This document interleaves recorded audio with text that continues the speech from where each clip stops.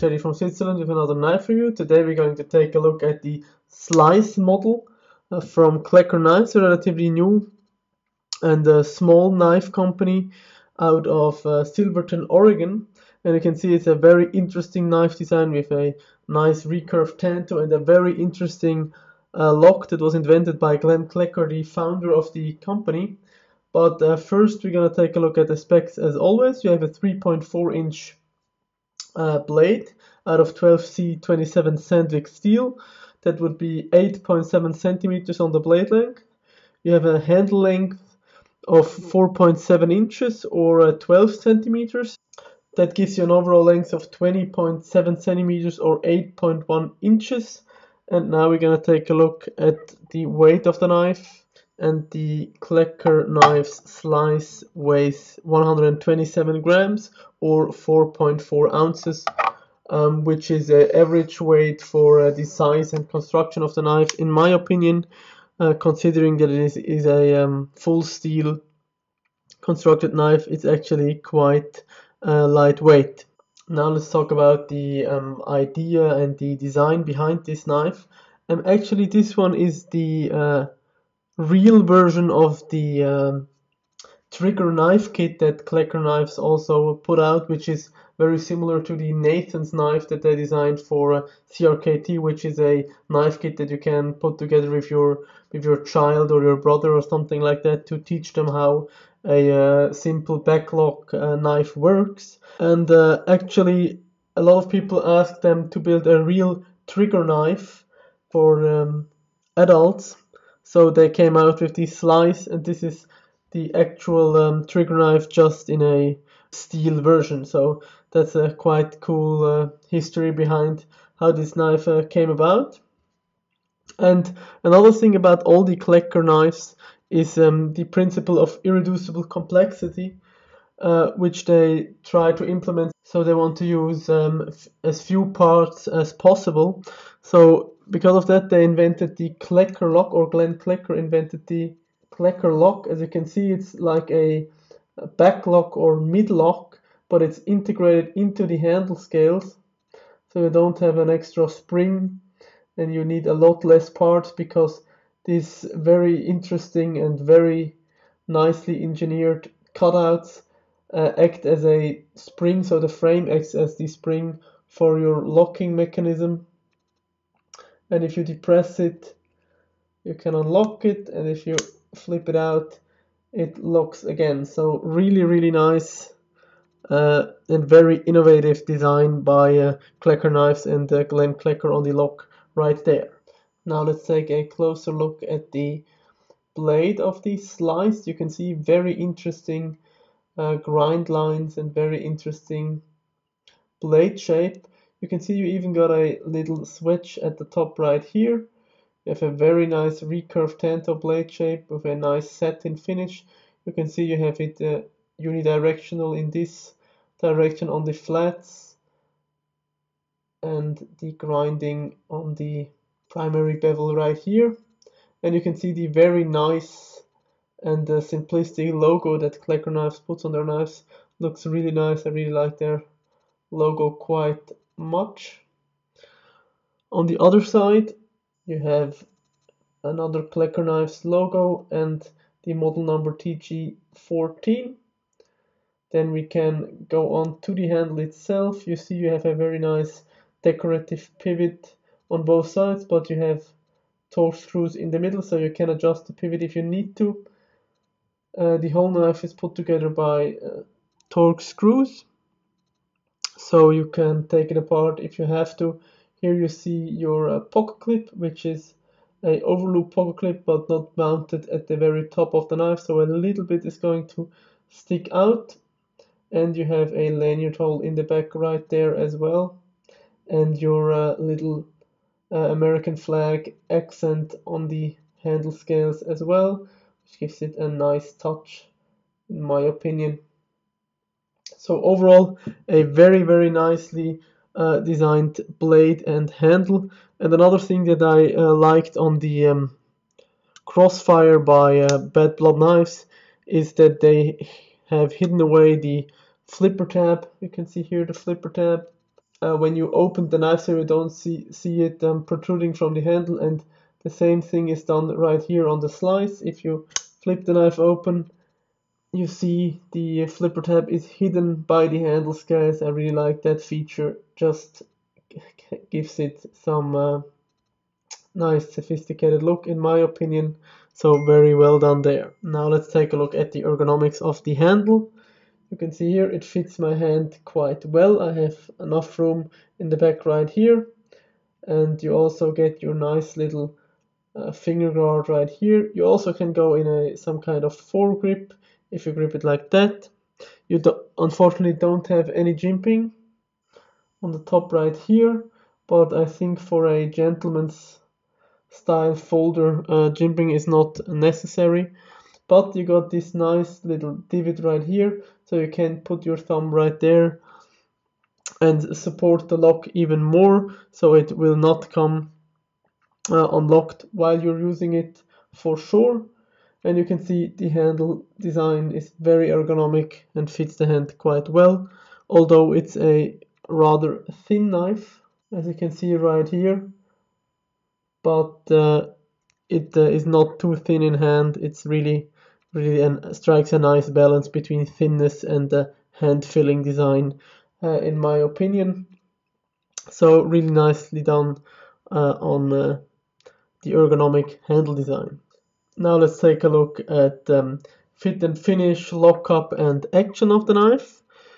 So you have seen the handle is put together very well. They have rounded all the corners. You have a little stainless steel tube for your lanyard hole. Here you have your thumb rest for the lock to unlock the knife. You have the decorative pivot, the nice blue coating on the stainless steel handles. Also the milling on the um, stylized American flag is nicely finished and rounded. There are absolutely no sharp corners anywhere. The nice polished pocket clip. Everything is built very well. Now we can take a look at centering. And you can see centering is very well right in the middle very nicely done on centering right here. Great job. You saw before, it's really easy to flick the um, slice out of the handle and it's also free falling, but that is a little bit hard to demonstrate because I don't want to cut my finger. You see it falls down if I disengage the Klecker lock and you see the action is very very smooth and very easy to actuate. I think the very unique um, flipper tab design has a lot to do with it because you can get a really nice purchase on this forward part right here and just flick it out without any problem just like that. So action is very nice and it's also extremely smooth as you saw before. It just falls freely if you disengage the lock right there. So very well done on action fit and finish and centering. Now let's check out uh, the lockup. So up and down, no movement whatsoever, side to side, absolutely rock solid. You have absolutely no movement side to side, very, very well done. So this Klecker lock is a very nice, secure and stable lock that uses a lot less part than a standard back lock and you can really you can really trust this lock. So now let's take a look at sharpness. I now had this knife for about uh, nearly a month and carried it as my more dressier gentleman's carry uh, knife. And let's see how the 12C 27 Sandvik blade held its sharpness. You can see I can cut this paper without any problem and the recurve tanto just pulls the material into the cut and it slices very very easily. So very well done on the sharpness right there by Klecker knives now let's come to the size comparison I like to do. Um, I'm gonna compare this knife to some other uh, gentleman's folders that I have in my collection because I think that is really the calling uh, for this nice um, sleek folder by Klecker Knives. Uh, first, I'm gonna have here the Ken Onion designed CRKT Swindle in the little bit more upscale grooved handled version. So you see, it's both of them are um, full steel constructed knives. Both of them are flipper, and the size is very very similar. The um, Swindle is a little bit smaller overall. Another comparison would be from Boker Plus the Urban Trapper in the Decade Edition version. So also a flipper with a metal construction and these two are very very similar in overall size as you can see right here. And another comparison would be the Kershaw Injection 3.0.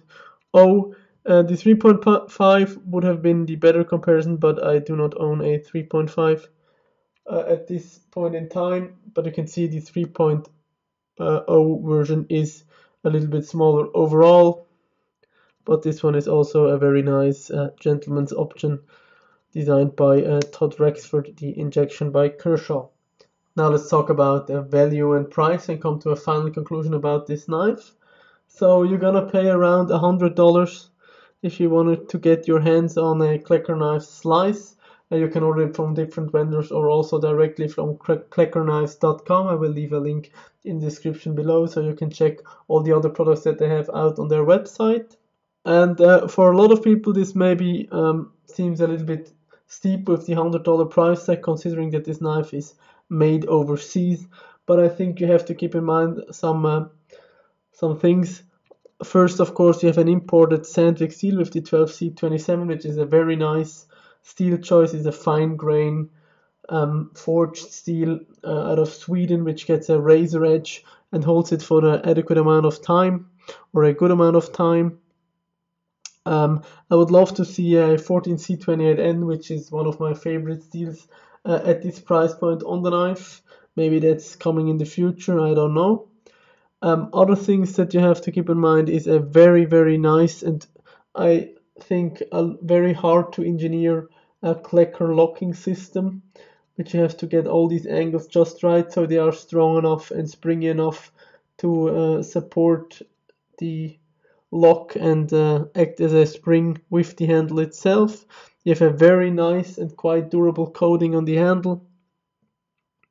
And of course, Klecker Knives is a new and quite small company, so you have to keep in mind that there are not, they cannot order just thousands and thousands of these knives. It's gonna and put up price as well a little bit, I think.